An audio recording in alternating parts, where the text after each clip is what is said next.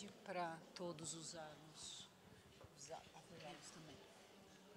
É, Pedro e Jorge, como estamos a gravar? Porque tem, inclusive, como? É só falar. A gente vai mandar o seminário. Pela primeira vez, uma turma de uma escola fora do país vai participar do projeto, uma escola em Macau. Ficou um pouco prejudicado o cronograma por causa do coronavírus. A gente vai mandar o vídeo, então por conta disso a gente precisa todos usarem o microfone. Não, não, deixar. Mas tudo bem. Tá bom, obrigada. É, Pedro, quando for falar, preciso que use o microfone, que a gente está a gravar. É, por quê? É, a gente tenta um jeito, ou mesmo eu seguro para vocês, eu vou estar do vosso lado. Eu vou é, ou eu peço um suporte. Um suporte? No intervalo a gente vê se a colega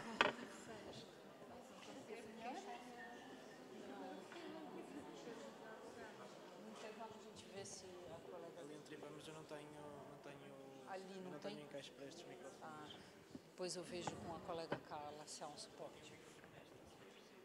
Tá. mas-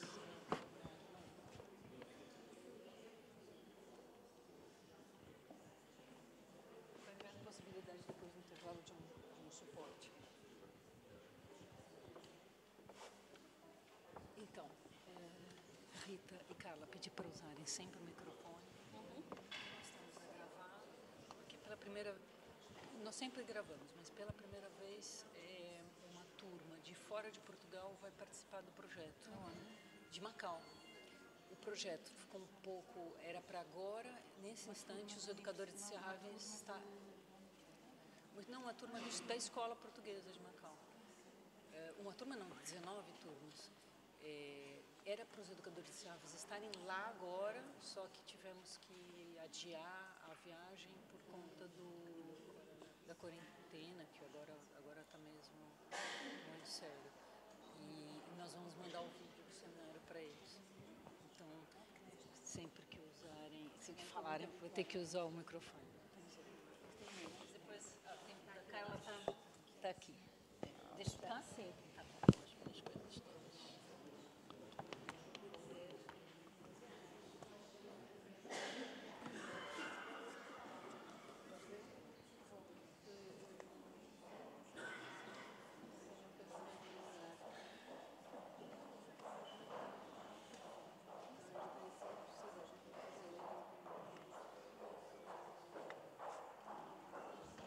Alô? Olá. Alô? Bom dia, bom dia a todos. Eh, apesar de alguns estarem ainda a chegar, eh, nós vamos começar para não atrasarmos demais o nosso cronograma hoje, que é bastante rico, bastante enriquecido com, com todas as os convidados e temos uma intensa programação, não só das, das discussões todas que os convidados estão a, a trazer, mas também temos algumas questões a tratar aí de ordem prática relacionadas ao projeto com os professores, a entrega dos, dos leporelos ao final. Eh, então, bom dia, bom sábado a todos. Queria começar eh, só a lembrar, todos têm o, o programa eh, das atividades, mas então estamos agora a fazer boas-vindas. Logo depois eu vou passar a palavra à Rita, e já vou apresentar eh, de uma maneira mais apropriada a Rita, a Carla, também os outros convidados, o Jorge e o Pedro. Eh, entre a apresentação da Rita e da Carla, nós não vamos fazer um debate ne- nesse, nesse momento, nós vamos fazer um coffee break, depois eh, o professor Jorge faz a apresentação, o Pedro, e aí sim nós vamos todos nos reunir, os cinco, para debater, abrir o debate. Eh, eu vou levantar algumas questões e, obviamente, abrir o debate aos professores. Ah, e aí depois, bem ao final, temos entrega de materiais, esclarecimento de algumas dúvidas, e aí são dúvidas muito específicas com relação ao desenvolvimento do projeto, uh, falamos mais sobre isso. Mas eu gostaria de entrar a uh, dizer algumas palavras uh, sobre os convidados de hoje e também sobre o tema da nossa de enfoque do nosso projeto anual com escolas esse ano. Então, aqui na ponta eu tenho a Rita Pedro. Fiz um apanhado biográfico tentando não ser tão formal, mas é um pouquinho formal. Eh, a Rita Pedro estudou filosofia na Universidade Nova de Lisboa e, desde 1999, dinamiza ateliês e orienta formações a professores, com ênfase ao pensar a filosofia e a infância. Atualmente, a Rita é doutoranda sobre orientação do filósofo José Gil e colabora no laboratório de pesquisa em filosofia prática e aplicada pela Universidade Universidade Egeu, é? eu, eu li e falei, uau, que incrível, mas depois não acreditei se eu estava lendo certo. Uh, trabalho em parceria com vários artistas e hoje, inclusive, sai correndo de cá para participar das Comédias do Minho, é isso? Uh, muito obrigada, Rita.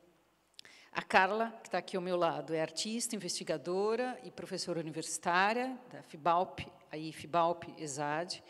A Carla é doutorada em práticas artísticas pela Goldsmith University e em 2016 é, a Carla recebeu uma bolsa de investigação chamada Cultural Engagement Fund e nesse, nessa, com essa investigação a Carla desenvolveu um acompanhamento e, e toda uma pesquisa ao redor de um trabalho de um centro comunitário londrino chamado The Mill, The Mill é, que imagino que a Carla vai trazer alguma coisa sobre isso ou não. Tem um projetos, outros projetos.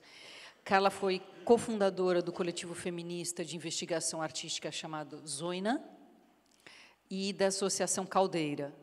Essa sim, a Caldeira eu vi que tem alguma coisa. Não, é, ras, é o rastreio. Ok. Tô spoiler tudo. É, depois do intervalo, para o coffee break, nós temos o professor Jorge do Ramos O, que é professor associado do Instituto de Educação da Universidade de Lisboa, professor convidado da Universidade de São Paulo, no Brasil, onde leciona temáticas relacionadas com a história da educação, história cultural e das mentalidades. Jorge do Ramos O é autor de diversos textos e coordena projetos de investigação também pelo Ministério da Educação. É, destaco nessa trajetória, uh, gostaria de destacar que o, o professor Jorge Ramos é autor de vários livros e destacar a sua mais recente publicação, que inclusive será lançada aqui no Porto, já foi lançada em Lisboa, mas aqui no Porto uh, será lançada hoje às 5h30, às 17 horas e 30 na livraria de Serralves, e a publicação chama-se Fazer à Mão por uma Escrita Inventiva na Universidade.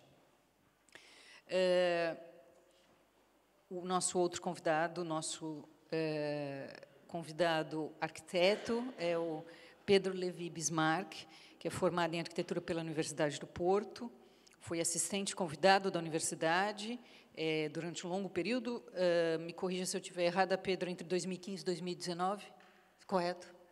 Eh, é investigador do Centro de Estudos de Arquitetura e Urbanismo, editor da incrível revista Puncto.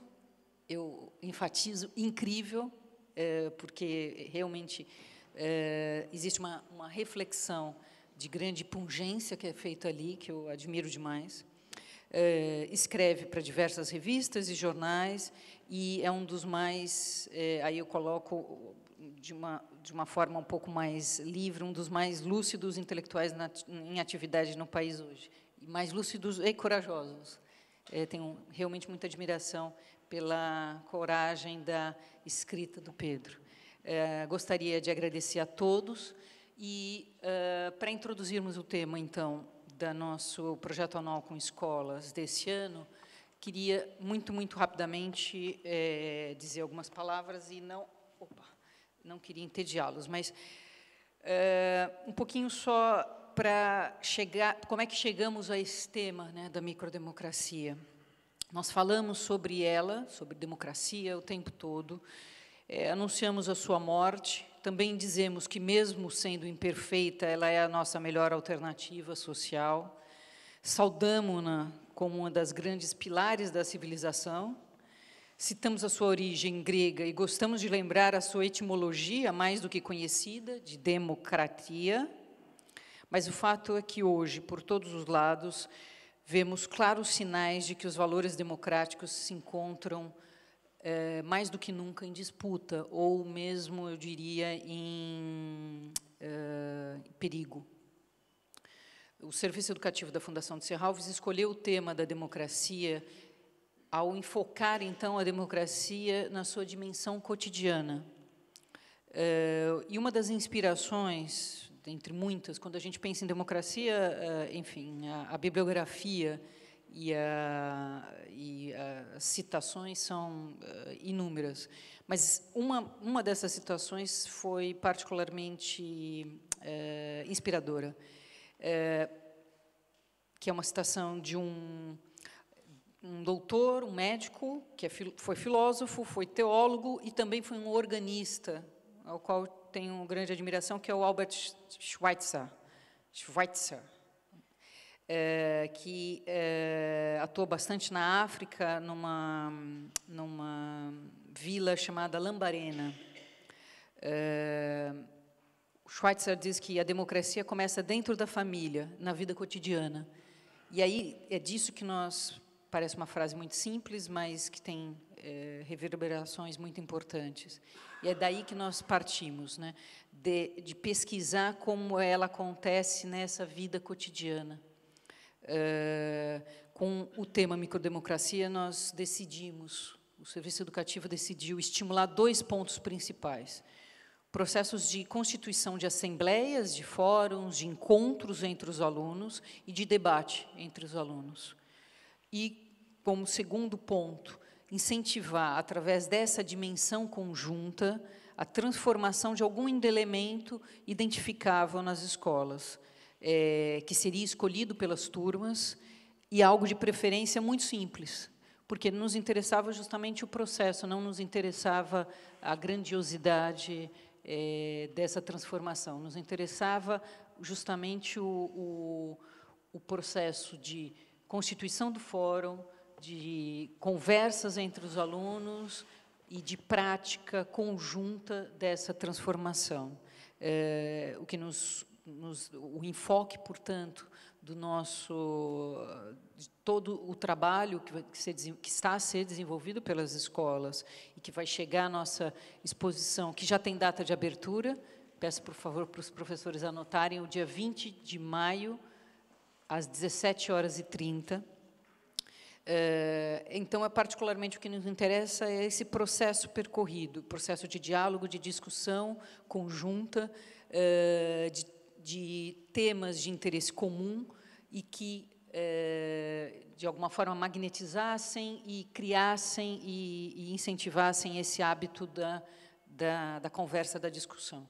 É, queria fechar só essas boas-vindas com uma outra frase, é, que aí faz bastante sentido com essa vontade de incentivar a assembleia, o diálogo, que é é, essa outra, essa parte da democracia não romantizada, né? A democracia, é, esse é um, aí a frase de um, de um político é, alemão que chamado Manfred Rommel, é, não é o Rommel da Segunda Guerra Mundial, é outro, é, mas diz que a democracia é uma instituição que organiza a dúvida, a desconfiança e a crítica, e é extremamente é, por isso que ela tem tanto êxito. Então, quando a gente fala de democracia, também nós tendemos a, a, a, a procurar o consenso, a procurar. O, e ela justamente não é isso, ela é esse, essa fricção. É, por isso ela é tão também dolorosa.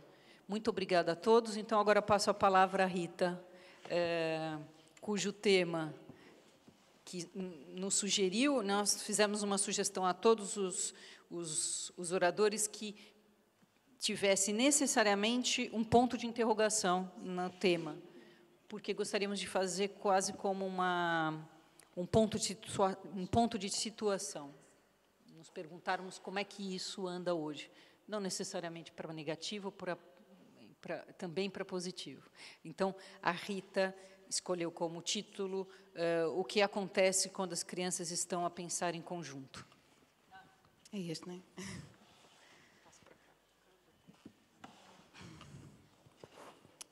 Então, queria só dizer que não estou a fazer o doutoramento com o José Gil porque já está uh, aposentado. E era só esse, eu fiz o mestrado, mas o professor José Gil já está, já está, exato. Mas estou a fazer com outra pessoa. Não faz mal.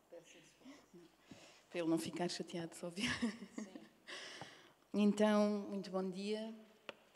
Um, gostaria aqui uh, de, então de apresentar esta questão, o que é que acontece quando as crianças estão a pensar em conjunto, no espaço, no contexto escolar ou fora uh, da sala de aula.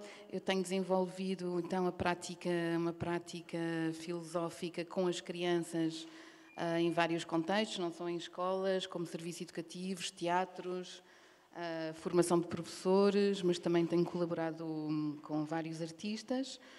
E, portanto, há 18 anos que estou a ouvir as crianças pensar.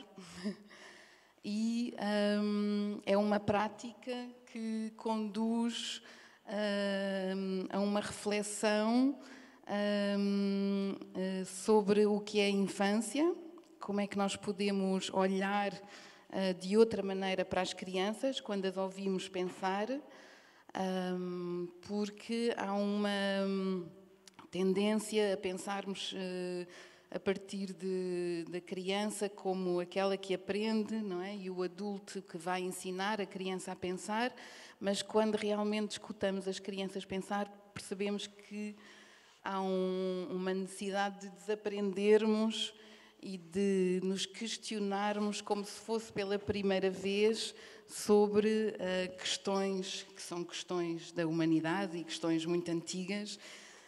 Um, então, o que é que acontece quando as crianças pensam em conjunto? Porque antes de uh, antes de ter havido esta ideia uh, de levar a filosofia para as escolas ou de criar momentos reflexivos na escola, as crianças já tinham perguntas filosóficas, não é? Sempre tiveram perguntas filosóficas.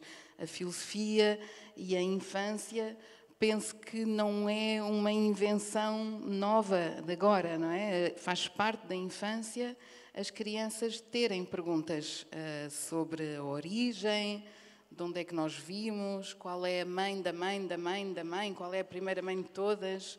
Uh, qual foi o primeiro homem a existir, como é que isto tudo começou, como é que o universo surgiu, qual foi a primeira coisa a ser criada. Portanto, perguntas que já os pré-socráticos, filósofos pré-socráticos uh, também, uh, também questionavam. As crianças têm essas perguntas, perguntas metafísicas, perguntas ontológicas sobre o ser, perguntas da estética, sobre o belo, sobre a arte, Há perguntas éticas sobre amizade, por exemplo, e outras.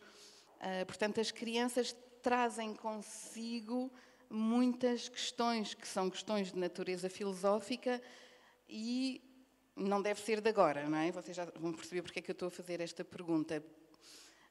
Um, sempre fizeram essas perguntas, simplesmente não havia uma oportunidade, um momento uh, para elas partilharem essas perguntas umas com as outras. Então, o que eu acho que há de novo agora nesta, um, na prática da filosofia com crianças é esta situação de estarem 20, uh, ah, várias crianças, 20 crianças a pensarem em conjunto. Então, o que é que acontece?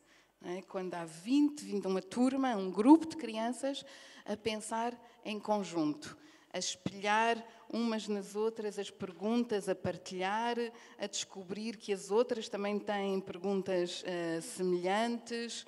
Um, como é que o pensamento, a partir desta situação, uh, de estarem em conjunto a pensar sobre uma questão, como, o que é que acontece ao pensamento? O que é que, o que, é que se desencadeia? O que é que, o que, é que acontece? Então, isso é que eu acho que é uma, uma, uma novidade, uma, algo que é novo é? De, nas escolas. esta prática, é uma prática nova e que inaugura uma nova forma de pensar. Então, eu vou aqui uh, mostrar uh, um pequeno filme, primeiro sobre uma criança a fazer uma questão sobre o que é que acontece quando nós morremos, que é uma, uma, uma pergunta que também faz parte da infância, que muitas vezes nós adultos sentimos dificuldade em abordar alguns temas, não é, como este. Uma vez uma professora tinha dito ah, estou muito preocupada, a minha aluna tem muitas questões sobre a morte, alguma coisa não deve estar bem. Então vamos fazer uma ação, uma conversa sobre, sobre essas questões que a sua aluna escreve no diário. E a professora ficou muito surpreendida porque mais de metade da turma uh, tinha essa questão, não é? Portanto, a questão sobre o que é que acontece quando nós morremos. Uma psicóloga, psicanalista, Françoise Dolto, e ela conta que quando tinha quatro anos, numa biografia sua, quando tinha quatro anos, ela colocava-se essa questão, não é? E estava sempre uh, com medo de fazer essa pergunta. Ela tinha uma ama que a trazia da escola para casa e elas passavam por uma, uh, uma ponte e por baixo passava o comboio. E então houve uma vez que ficou cheio de fumo e ela encheu-se de coragem e perguntou: Mas o que é que acontece quando nós morremos? E a ama ficou sem, não tinha resposta, não é? Então ela percebeu que, o, que os adultos não sabem tudo. É? Isso é uma coisa que acontece. Ainda ontem, numa sessão, ao fim de uma hora, das crianças estarem a fazer perguntas metafísicas, disseram, mas então, hum, porquê é que nós vamos à escola se o professor não sabe tudo, não é? Portanto, esta relação do saber, o, do professor que sabe e da criança que aprende, é, durante estas sessões, uma relação que é desconstruída, porque são perguntas que não têm uma resposta uh, pronta, feita, não é? São perguntas que obrigam, que forçam o pensamento. Então, o que é que acontece quando as crianças pensam em conjunto? Elas pensam. Mas o que é isso pensar, não é? Então, uh, pensar no sentido de começar a pensar em ideias novas, ideias que elas não tinham pensado antes, ideias que não lhes tinham ocorrido antes. Então há uma, uma, uma força, não é? Uma dinâmica que se instala nestes grupos e que faz, que força o pensamento e que faz com que aconteça, com que surjam ideias e perguntas que nunca tinham sido pensado antes pelo grupo. Inclusive, as crianças podem compor novas respostas em conjunto, não é? Compor, mas o que é que é isso de compor ideias? Nós compomos ideias a partir de outras. É isso, pensar. outra coisa que acontece é fazer perguntas, não é? Mas muitas vezes na escola as perguntas estão prontas. Não sei se concordam comigo.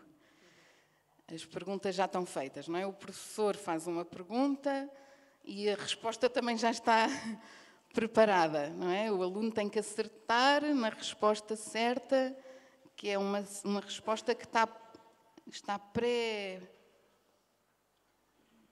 já está pensada, não é? Então, hum, nas sessões de filosofia, uh, diga? Em arte não. Ótimo, ótimo principalmente. Você está falando, está falando tanto em pensar, nós usamos mais o sentir. Pois, e nós estamos aqui no plano da filosofia, usamos muito o pensar, o que não quer dizer que não se pense com o corpo, não é? Uh, que é outra, outro assunto. Uh, porque o pensar pode não, não excluir o sentir e o viver, não é? Portanto, as crianças têm mesmo essa necessidade de inscrever o pensamento nas suas vidas, não é? Não veem as ideias fora do contexto da vida, da prática, do concreto, não é? Então, inscrever o pensamento na sua vida quer dizer fazer com que, com que as ideias façam sentido para, para o cotidiano, não é? Para por isso é que é muito importante deixar as crianças, voltando à questão da pergunta, fazer as suas perguntas, construir, fabricar a sua pergunta. Muitas vezes, hum, se o adulto leva a pergunta, há todo um processo de, de pensamento que é, porque é excluído, não é? Porque é, a pergunta já indica um caminho do pensar, não é? A pergunta já tem um, um, uma direção. Mas se eu crio a própria pergunta, eu também estou a, a, construir esse caminho primeiro do pensamento, de para onde é que eu vou. Também estou eu própria a traçar o, o caminho do pensamento. Então, eh, muitas vezes podemos passar vários, várias horas a fabricar uma pergunta. Não faz mal, isso já é um, já é um, um exercício filosófico, fabricar a pergunta. Não é preciso a pergunta estar logo pronta, a resposta está logo pronta. Uh, nós temos muito uma, uma necessidade não é? De, de, de, responder, de perguntar, das coisas estarem. Então, é, como falou do processo, não é? Há, há muito nesta prática da filosofia com crianças, uh, damos muito, muita importância ao processo, ao dar tempo para a pergunta ser feita, para a resposta ser feita, para nos conhecermos, para nos encontrarmos. Uh, e não tanto aos objetivos ou ao programa ou àquilo que eu quero que eu quero não tanto a ideias antecipadas daquilo que eu quero. Eu quero que nesta hoje pense sobre determinada questão. Não, eu não sei o que é que vai acontecer. ou eu vou me deixar surpreender uh, pelas perguntas das crianças. Porque se uma criança faz uma pergunta filosófica, isso é uma forma de desprogramar o meu pensamento. Como é que eu vou te explicar isto? Se numa aula de matemática, por exemplo, uma criança quer saber de onde vêm os números, ou por, como outro dia me perguntaram, então, mas como é que eles inventaram os números se eles nunca acabam, não é? Se tiveram que inventar o primeiro, o segundo, o terceiro, por aí fora até o último, se eles nunca acabam, como é que inventaram os números? Portanto, é uma pergunta que não se está à espera. Por exemplo, numa aula de matemática, né? vai, a, a aula vai num sentido num, e, e, a pergunta vai noutro sentido. Parece que desprograma. Não, não mas agora não tenho tempo. Espera. Uh, onde é que eu coloco esta pergunta na escola? Não é? Como é que eu vou abrir espaço para responder a esta pergunta? Que nem sequer tem uma resposta imediata. Um,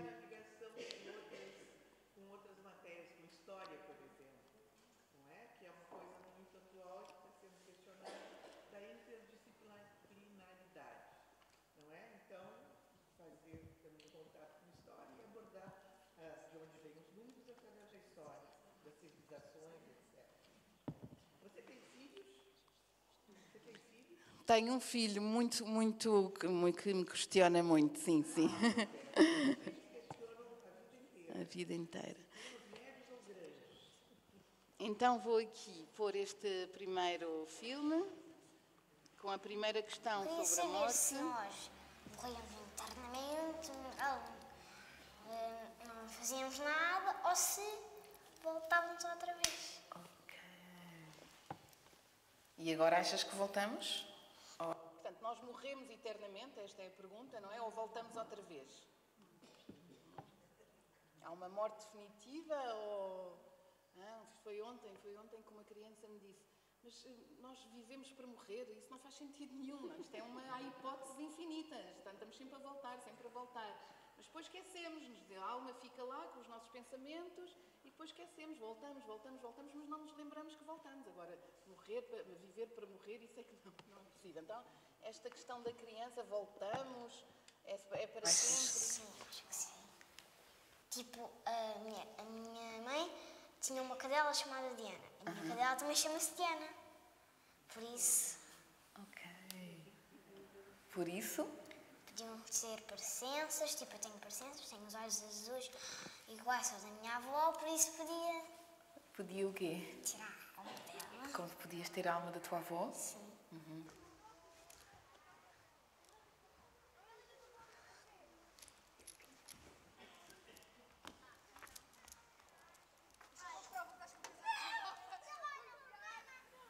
Como é que nós ficamos se morrer?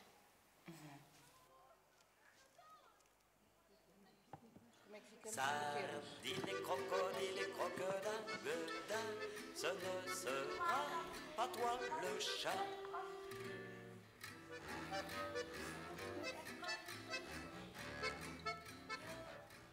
Como é que do nada existe nada?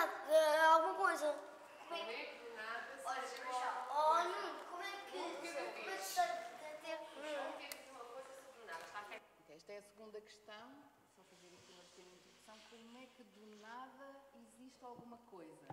Não sei se aqui alguém conhece o Leibniz, um filósofo ah, moderno, que ele dizia porque é que existe o ente e não há nada, não é? Então é uma questão muito parecida, é uma grande questão da metafísica filosófica, esta questão do Nuno, que é terceiro ano, oito anos, terceiro ano, sim, oito anos, como é que existe alguma coisa...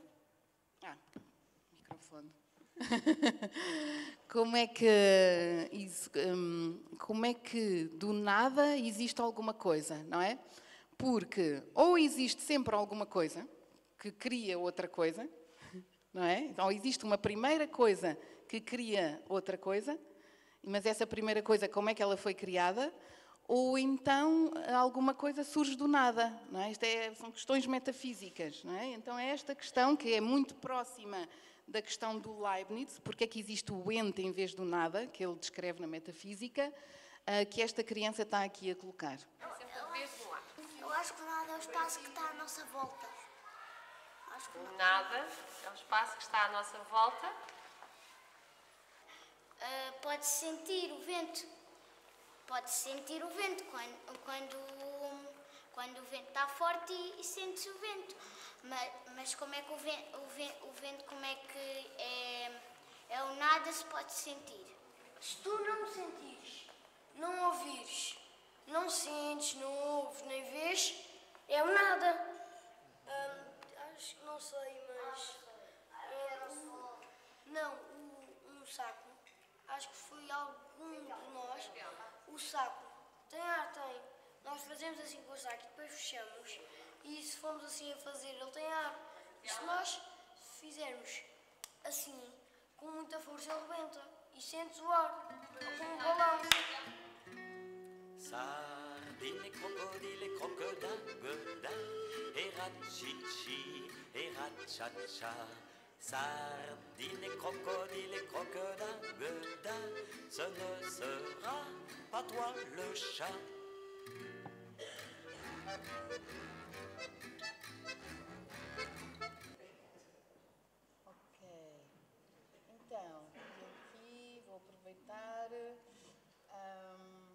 É que, portanto, isto é uma, é uma, uma sessão de filosofia em que as crianças estão todas em roda e vamos inscrevendo as ideias num papel de cenário no chão, ah, que é uma forma de, de irmos mapeando o pensamento, não é? Vai uma ideia, vai para ali, vai para ali, porque como eu estava a tentar explicar, desculpa, não estou habituada a falar no microfone, como eu estava a tentar explicar, ahm, durante estas sessões vai o pensamento vai traçar um caminho novo, não é? E vamos vai, vão- as, as ideias das crianças vão nos surpreendendo porque são ah, ideias que não estávamos à espera.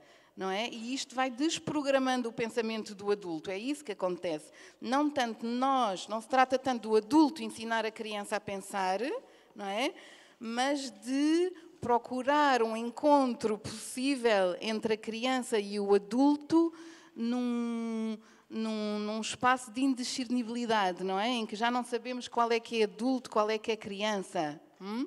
Porque podemos pensar a infância ah, como a primeira fase da vida, não é? Por exemplo, numa linha de tempo cronológica, em que aí vamos pensar, a criança com seis anos vai pensar isto, vai aprender isto, com sete anos vai aprender eh, aquele conteúdo e aquele e aquele, e assim nós adultos conseguimos programar a criança, programar a infância, não é? E é assim que a escola normalmente está pensada, ah, de acordo com idades e com. ah, ah, conteúdos programados, não é? Mas nestas sessões é um tempo em que isso é desprogramado. Há um pensamento ao contrário, há algo que vem num movimento que é inesperado, que é novo. É? Então, o que é que acontece quando as crianças pensam em conjunto? É uma oportunidade exatamente para desprogramar esse, esse, esse, esse tempo da infância que é pensada como primeira fase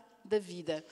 Eh, Na filosofia, nós pensamos o tempo ah, de várias maneiras. Podemos pensar como cronos, não é? Cronológico, o tempo cronológico, numa linha do tempo cronológica em que a infância ocupa a primeira parte, não é? a primeira parte da vida, ou podemos pensar como Kairos, Kairos que é o, a oportunidade, a oportunidade de eu estar aqui hoje, por exemplo, ah, ou perco o comboio, perdi a oportunidade de ir eh, para outro lugar, ou então podemos pensar o tempo como um tempo ah, intensivo, um tempo intensivo que é descrito pelo um conceito de Heráclito, que é o aion. Portanto, o Cronos, o Kairos e o aion. E o tempo aion, por exemplo, quando uma criança brinca, não é? Ela não vai dizer eu tenho 10 minutos para brincar ou eu tenho 15 minutos. Há uma, uma imersão uma, naquilo que ela está a fazer, um mergulho total que ela já não distingue ela da brincadeira, ela do que é que está a acontecer à volta e que faz esquecer o tempo cronológico, não é? Então, aqui, ah, nestas ah, sessões de filosofia, ah, é uma oportunidade para retirar a criança desse tempo cronológico, tempo programado, aprender isto para aquilo, saber isto para atingir aquele objetivo, ah, aprender isto para depois poder aprender aquilo, não é? Pensamos sempre uma coisa leva à outra com um objetivo de aprender, de vir a ser isto, de vir a ser um bom adulto, de vir a ser um bom cidadão, de vir a ser um bom pensador. Então, e porquê fazer sem esse? Como é que nós podemos ah, perspectivar a criança, colocá-la fora desse tempo cronológico, fora desse programa, fora dessa, desses objetivos?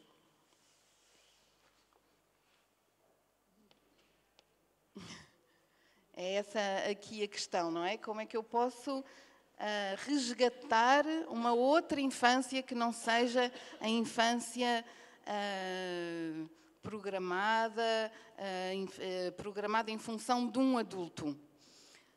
Então, ouvindo as perguntas das crianças, eu percebo que esse adulto não tem mais lugar. Esse modelo de adulto que sabe, o modelo de adulto que programa, é, há uma desprogramação. Eu não consigo mais responder àquelas perguntas todas. Eu tenho que pensar em conjunto com as crianças. Tenho que ir no fluxo do pensamento delas, não é? Há uma que eu falava do encontro, há uma, uma procura de haver um encontro em que a criança já não é aquela criança que eu estava a programar e o adulto também já não é. Então é o quê? É um, há um devir outra coisa que, que, que irá acontecer, não é? Nessas, nessas sessões e que nos leva, hum, então, hum, ideias novas que nós não tínhamos pensado. Por exemplo, está aqui outra, outra questão. O infinito existe ou não existe? Pergunta uma criança. Para haver infinito, tens de saber onde é que ele fica exatamente para poderes dizer onde é que ele está. Está aqui, aqui, ali. Mas podemos indicar um lugar para o infinito, então deixa de ser infinito e passa a ser finito. É um problema. Não é? Como é que eu respondo a uma, a uma pergunta? É desloca-me, não é? Do, do, do, meu, do meu lugar de saber. Não é? Esta pergunta, as perguntas filosóficas das crianças deslocam do, do adulto que sabe, que vai responder, que, que programou aquela resposta. Eu posso programar, mas então vai haver outra pergunta de certeza que vai ser desencadeada durante a ação de filosofia que eu não programei.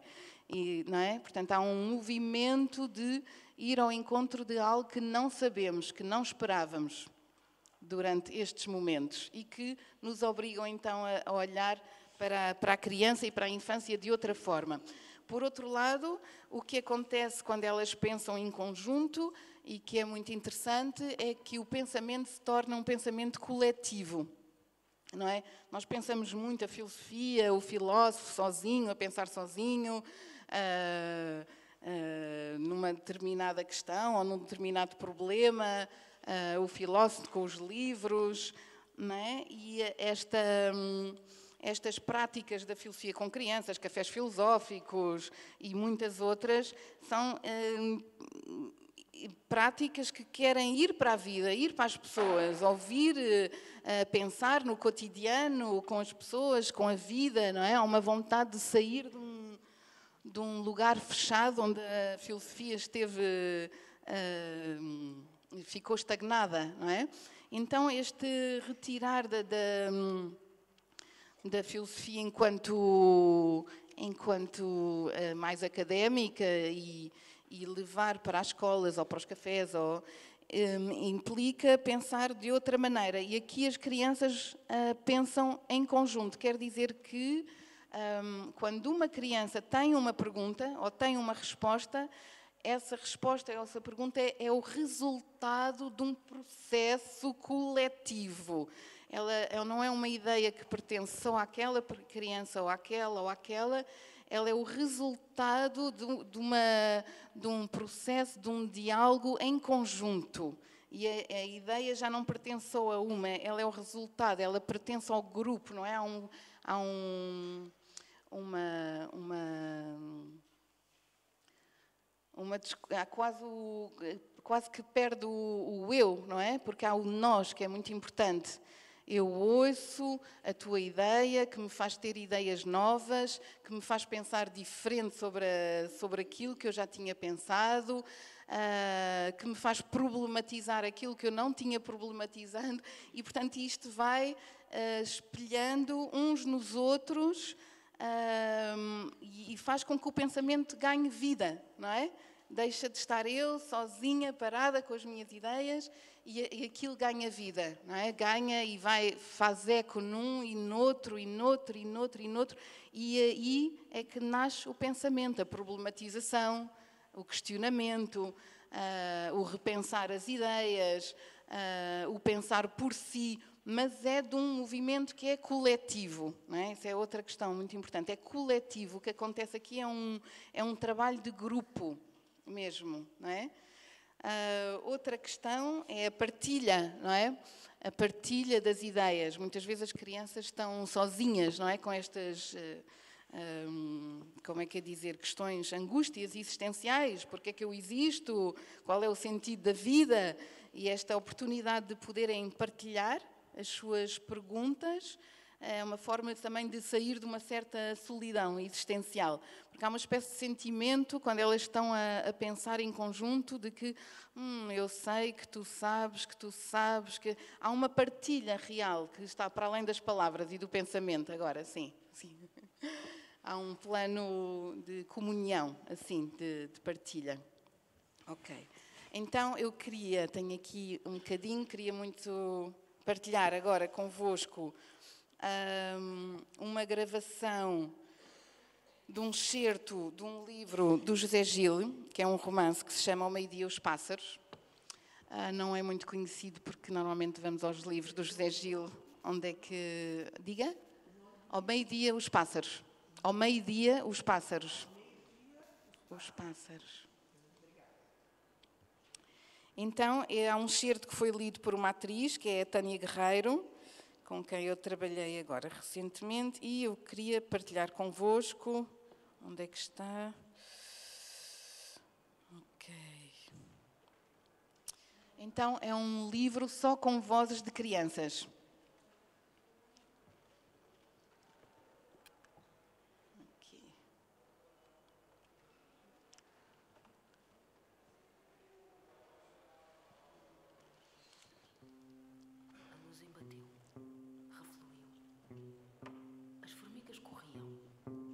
Sua companheira da bola branca tinha desaparecido. Levantou o pescoço para ver por cima da relva sem mexer o corpo. As narinas tocaram nas folhas pequenhentas. Um perfume intenso entrou pelo nariz, por ali adentro. A minha mãe cheirava a maçã e eu sabia.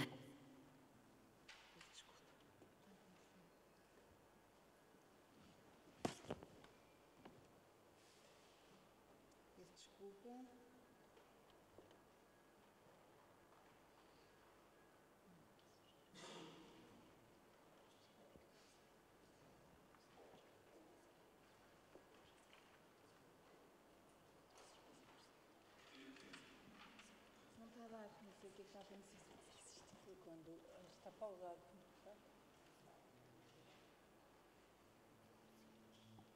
Levantou o pescoço para ver por cima da relva sem mexer o corpo.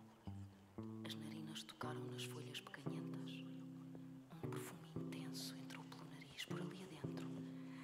A minha mãe cheirava a maçã e eu sabia, eu sabia.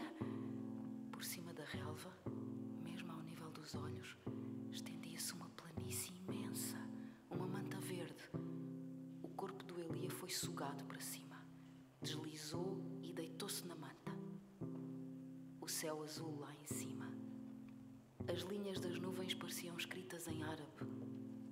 Pai, como é que apareceram as palavras? O quê? Como é que apareceram as palavras? Isso, sabes? Ninguém sabe. Só a natureza. É um mistério, sim. Os humanos não sabem. Ainda não sabem, pois. O que é natureza? A natureza. A natureza. Olha, é a Terra. E o espaço? E o espaço também, sim. A Terra e o espaço e os homens. Pai, como é que os homens não sabem de onde vêm as palavras se pertencem à natureza? Ah, bem, olha, é verdade isso. Mas a verdade é que é um mistério. Pai, o que é um mistério? É uma coisa que não sabemos bem o que é. Não sabes o que é um mistério? Olha, Elia, já chega de perguntas. Mas o que é um mistério? Elia, pai, o que é um mistério? O Elia, deitado de costas, olhava para o azul por cima de si e pensou no céu e nos espíritos.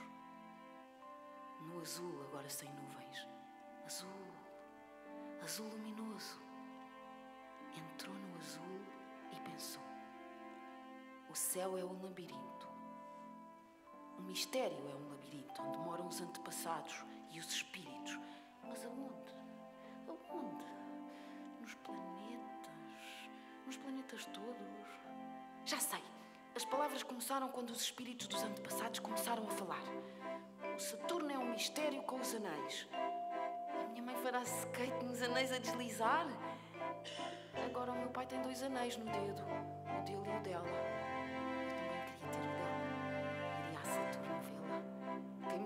Viajar no espaço, encontrar os extraterrestres. A minha mãe já os conhece, anda com eles, brinca com eles. Quem me dera ser um extraterrestre para ir até ao infinito. Levava a minha mãe, fazíamos um piquenique no infinito com ketchup e tudo.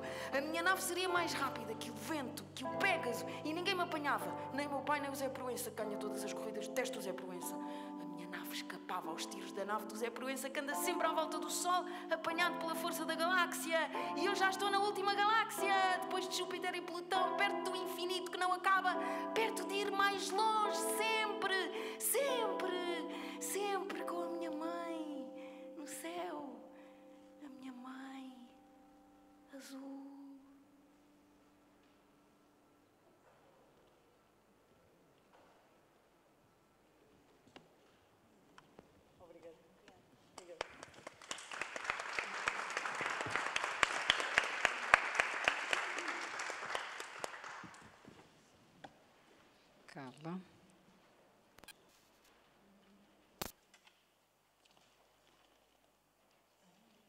E- Então, é, só para lembrar, queria lembrar o título que a Carla Cruz escolheu, a pergunta que ela escolheu, que é muito interessante. Pode a arte ser democrática ou apenas representar a democracia?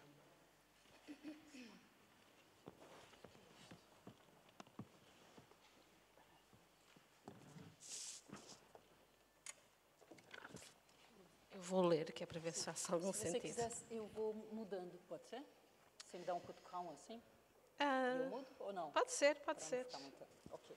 Estou aqui. É isso.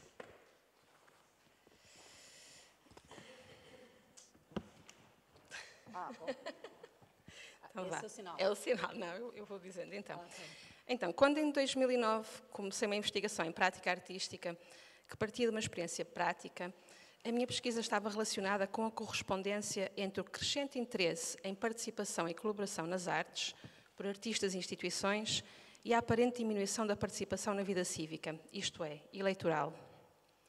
Eu, eu- Ah, eu passo nisso, é melhor. Hum, A experiência artística chamou-se Utopias, Ciborgues e Outras Casas nas Árvores, apresentada em 2009 no Festival Circular em Vila do Conde. Não desejo de levar mais longe uma prática participativa, como resposta a uma encomenda do Festival Circular, pedi para trabalhar com um grupo de pessoas do público. Uns meses antes do festival, comecei um processo artístico colaborativo com um grupo de oito pessoas: o Alberto Magno, Ana Borges, Carolina Lapa, Filipe Gomes, Jorge Pinheiro, Júlia Ferreira e Micaela Maia, que resultou numa intervenção pública móvel e numa intervenção nos dois jornais vilacondenses. Partimos de um sentimento de militância. Queríamos chamar a atenção sobre o mundo em que vivemos, mas também proporcionar uma experiência estética centrada nas nossas visões utópicas coletivas. O mote pretendia discutir, fabular sobre o futuro em termos pessoais, sociais, políticos, de identidade e ambiente, urbano e ecológico. Portanto, nós encontramos durante duas semanas, regularmente, para falarmos todas estas questões e tínhamos que dar forma depois, num gesto artístico, uh, dar forma a essas questões. E esta foi a forma uh, que encontramos. Essa ideia de que Portanto, é uma porta colocada no espaço público que abre é? para um lado e para o outro, e a ideia era que para, para atualizarmos a, a, utopia bastava dar um primeiro passo, era, era só, estava aqui mesmo, ou seja, entre, entre o agora, o aqui e a utopia, não há nada a não ser esse primeiro, esse primeiro movimento. Mas, claro, como isso também é difícil de fazer, eh, adicionamos esta pequena nota na nossa porta, pedir a chave ao balcão, não é? que é uma coisa muito típica eh, de quando se quer ir à casa de banho num café, não é? Nunca é assim tão fácil. Pronto, e essa, eh, essa, essa peça foi instalada em diversos lugares em Vila do Conde, era uma utopia móvel, portanto ela ia aparecendo em diversos sítios. Então, quando eu iniciei esta minha pesquisa em torno da democracia, pensava já ter a resposta. A participação é um pré-requisito para a democracia e as artes estão na liderança do caminho para uma visão de uma vida cívica mais participativa. Mas estava a supor que participação eleitoral e democrática eram uma e a mesma coisa, e a arte participativa era uma forma de praticar, exercitar, ou seja, treinar a democracia. Portanto, eu tinha essa ideia de que a participação era uma mais-valia. Em 2009, eu encontro esta peça de, do Gustavo Metzger na Serpentine Gallery. Uh, e aquilo que se encontra, eu vou falar um pouquinho dela para explicar como é que como é que a participação na minha própria prática artística, como é que eu pensava que ela funcionava também. Portanto, nós entrávamos nesta sala, na Serpentine Gallery, e encontrávamos dois grandes tecidos, um, um na parede e um sobre o chão, e eles ocultavam duas fotografias enormes também. E ao, ao visitante, uh, portanto, o visitante para poder olhar para essas fotografias, elas não podiam ser vistas logo assim de uma vez só, tinha que ou passar é, entre, entre a fotografia e aquele pano, ou cam, caminhar ou gatinhar debaixo desse pano para ver a imagem. Portanto, a imagem nunca poderia ser vista na sua totalidade, o visitante tinha que fazer uma espécie é, de, de, criar o puzzle, um, andando ali a gatinhar sob o pano para ver o total da fotografia. Que fotografia era essa que estava no chão, a que mais me interessou? Era uma fotografia no gueto de Viena, uh, portanto, durante a Segunda Guerra Mundial, uh, em que aquilo que se vai vendo, é, à medida que, que eu andava ali a gatinhar, era um, uma mulher de gatas no chão, com um balde de água e uma esfregona a esfregar as pedras da calçada sobre a vigilância dos militares nazis. Portanto, essa ideia de, de uma humilhação total. E ali estava eu, exatamente na mesma posição que aquela mulher, mas no total privilégio não é, da minha existência no século XX, numa galeria em Londres, vulnerável eu também, de gatas, não é? Portanto, também é essa ideia de que a participação mesmo também no espaço artístico, exige uma certa, um certo comprometimento, não é? Mas ah, numa posição completamente diferente da daquela mulher, não é? Que, que foi absolutamente tocante. Então, a minha ideia também da participação era essa, não é? De que eu nunca poderia ter feito essa mesma leitura daquela imagem se o artista não me tivesse convidado a, a vê-la desta forma. Portanto, mas ao olhar mais de perto para o que é democracia e o que é que esta pode ser, e quais os seus problemas e insuficiências, ou porque é que parece falhar, e experimentar formas de participação, colaboração e cooperação na minha prática, a ideia da arte ser um espaço de ensaio para a participação cívica, ou ser participação cívica em si mesma, começou a complicar-se. Em teoria, uma maior participação criaria governos mais responsáveis, que levariam a política mais dinâmica, que inspiraria mais pessoas a participar. No entanto, o que vemos são os governos e as instituições que apoiamos por meio deles, surdos às causas propostas pelas populações, e especialmente quando essas causas, pedidos, processos, surgem a partir de uma participação não solicitada. Então, como é que conseguiremos mais participação e que participação é a mais adequada na arte e, consequentemente, na sociedade em geral?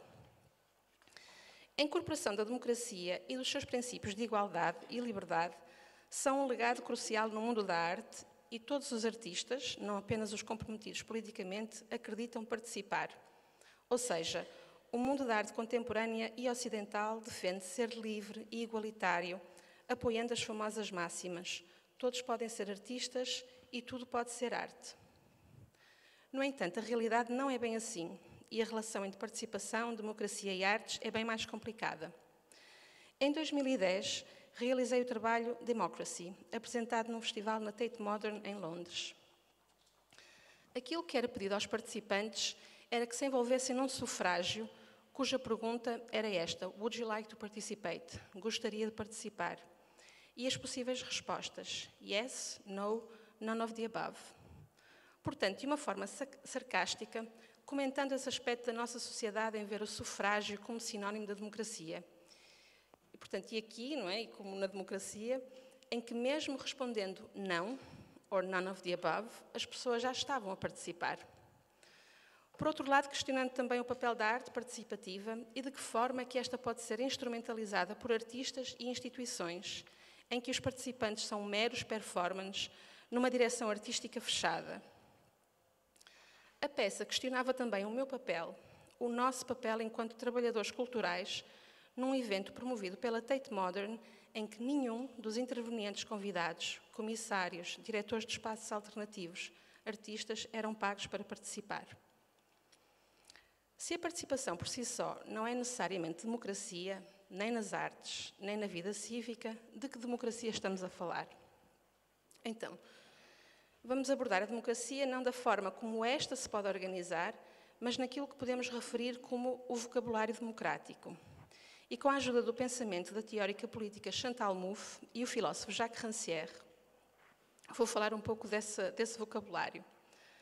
Ambos afirmam que existem complexidades inerentes à democracia que estão além das práticas e formas participativas de qualquer democracia específica e apresentam uma forma diferente de pensar a democracia.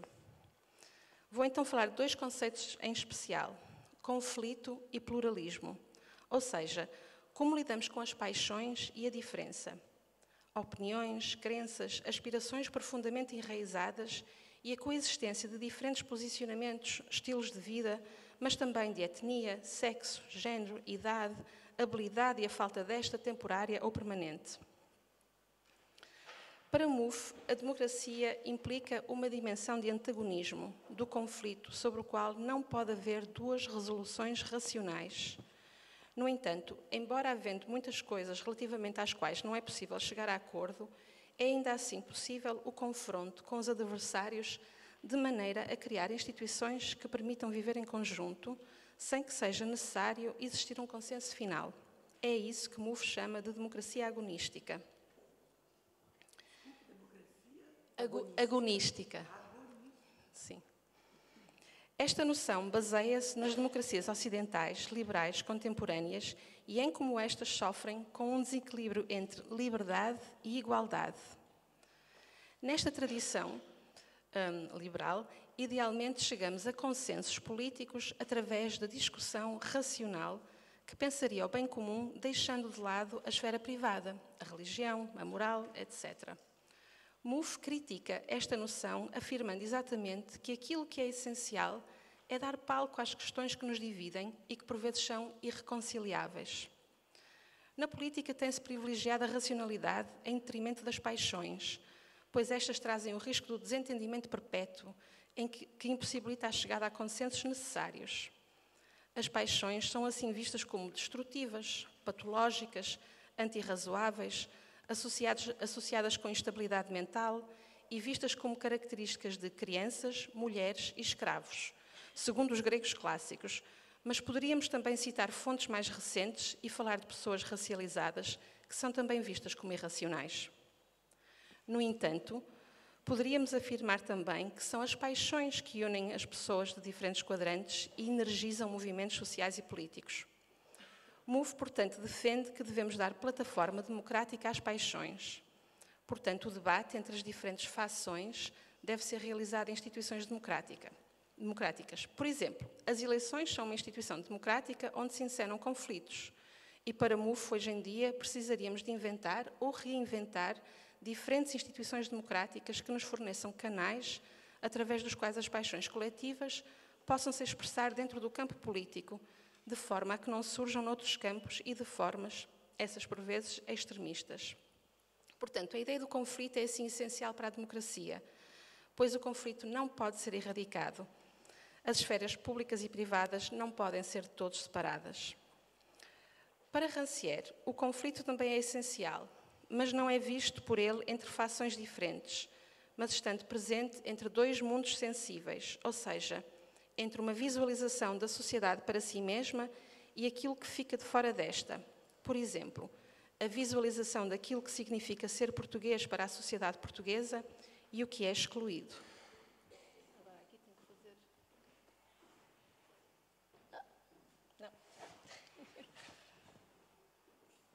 Esperar que. Eu vou mostrar só um pequeno clipe.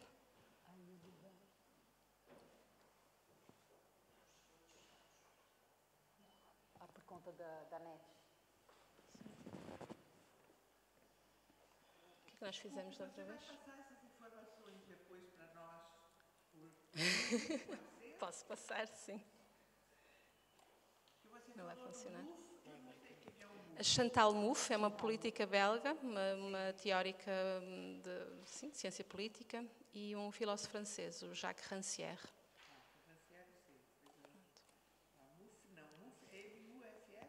M-O-U-F-F-E.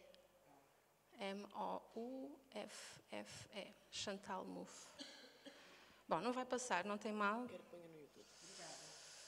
Hum, sim, podemos tentar.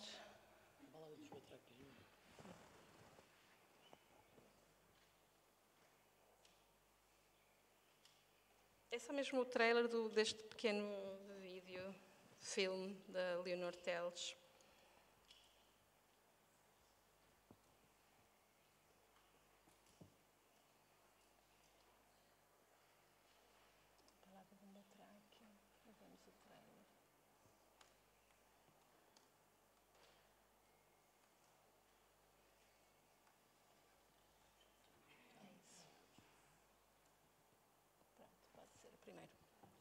Já se passa.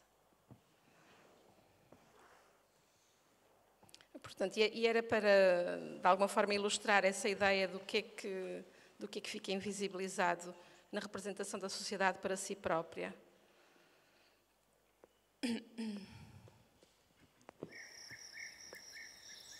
Isto aconteceu no tempo em que existiam pessoas e elas dominavam o mundo.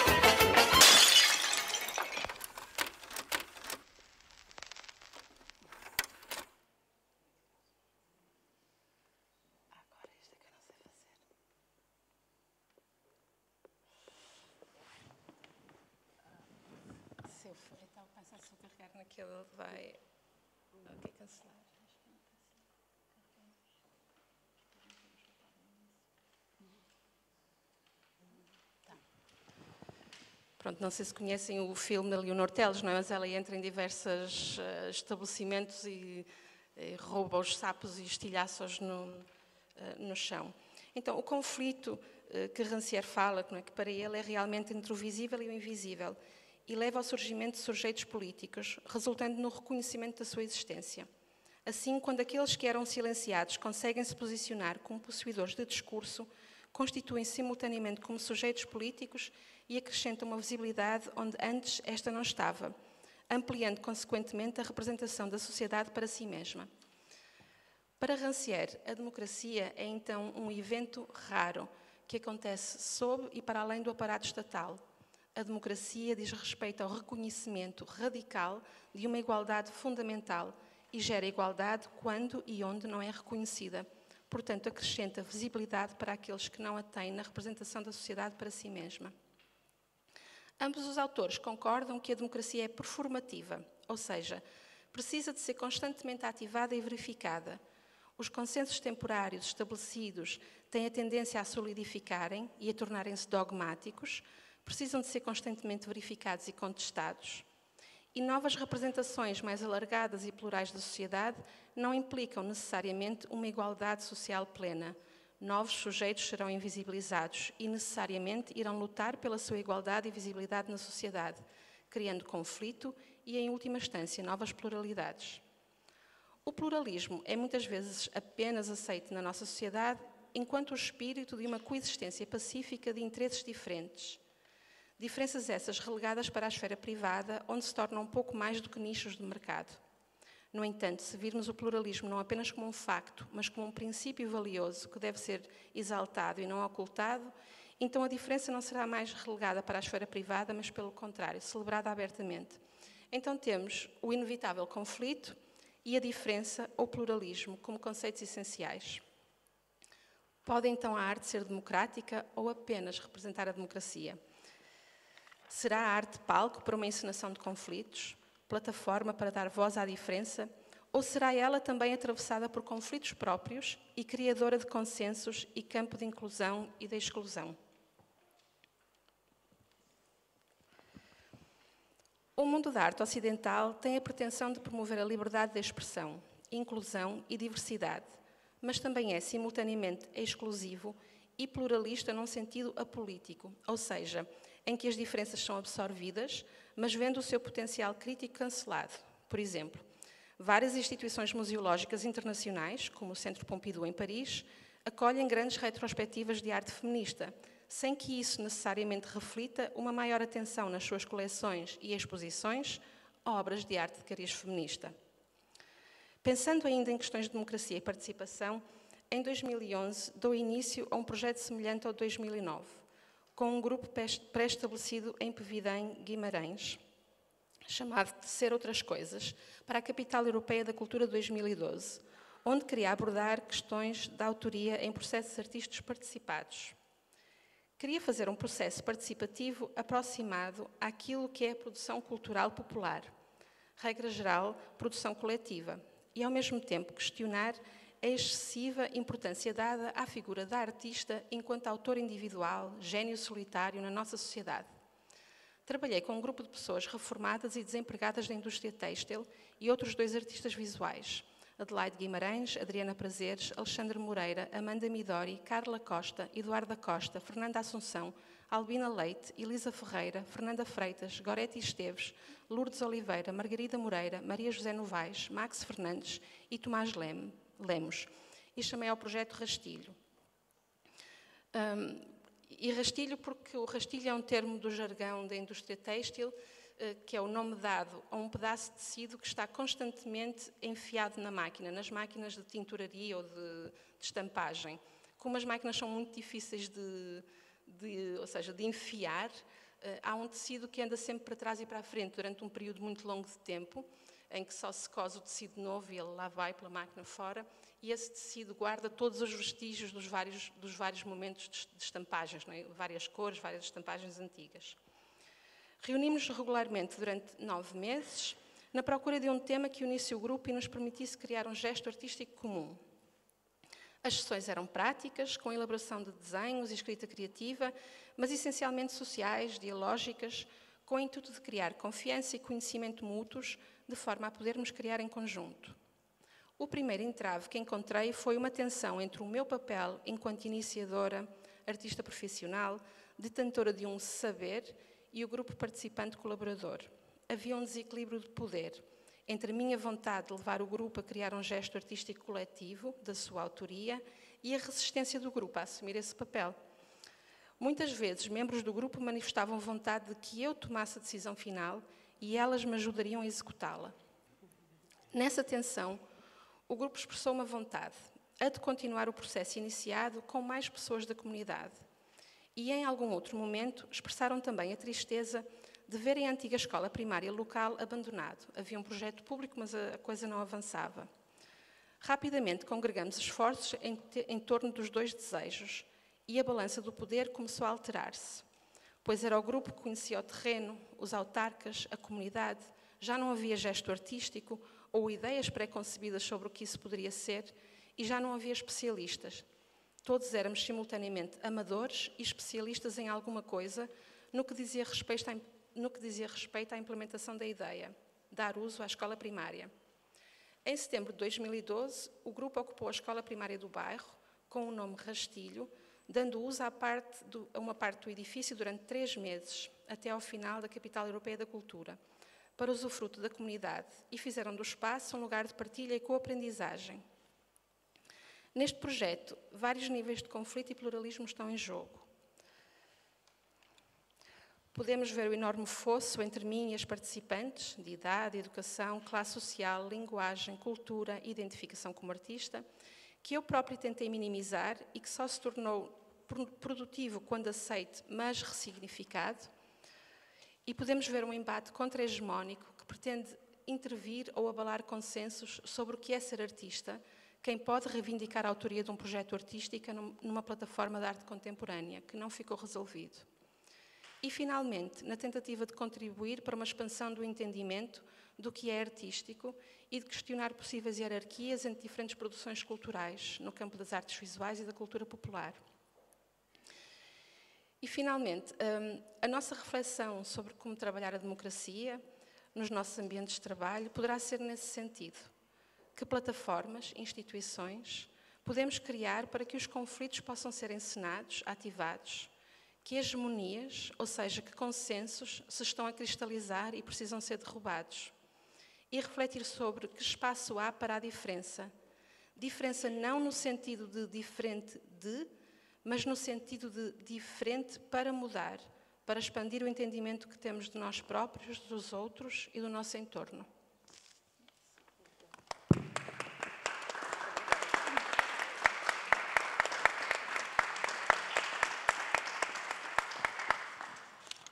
Bom, eu anotei várias, várias questões para conversarmos todos ao final juntos. É, a princípio, nós tínhamos pensado o coffee break na sala do serviço educativo, portanto, colocamos 30 minutos, porque haveria um, um tempo de ida e vinda. Mas temos o coffee break, uh, o luxo de termos o coffee break aqui mesmo na biblioteca, portanto, eu vou pedir para fazermos um coffee break de 25 minutos ao invés de 30, porque não precisaremos nos deslocar tanto assim. E voltamos às. Uh, podemos voltar, agora são, me ajudem aqui a calcular, uh, 11, 15, 11 e 45, 45 exatamente. Ok. É, 40, 11 e 40.